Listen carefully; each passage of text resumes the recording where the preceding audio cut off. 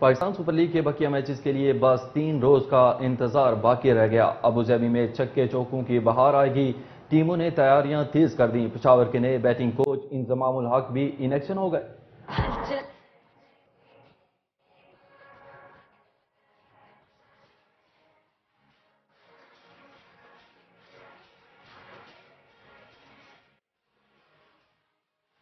अबूजाबी में पीएसएल में मेला सजने और छक्के, चौके लगने को क्रिकेट का तिबले जंग बजने को है।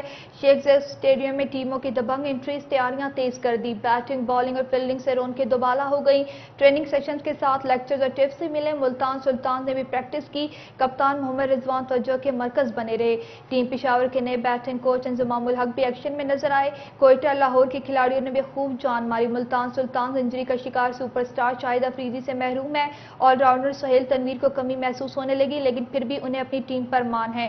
कोरोना से मुतासर छठे एडिशन के सेकेंड फ़ेज़ का पहला मैच नौ जून को रात नौ बजे लाहौर कलंदर्स और इस्लामाबाद यूनाइटेड के दरमियान खेला जाएगा।